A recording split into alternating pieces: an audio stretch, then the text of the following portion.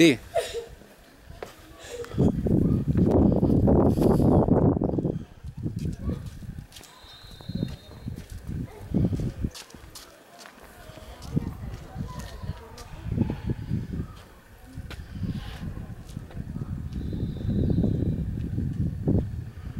Está listo para la tarde de toros, el domingo 20, 30, el domingo 30.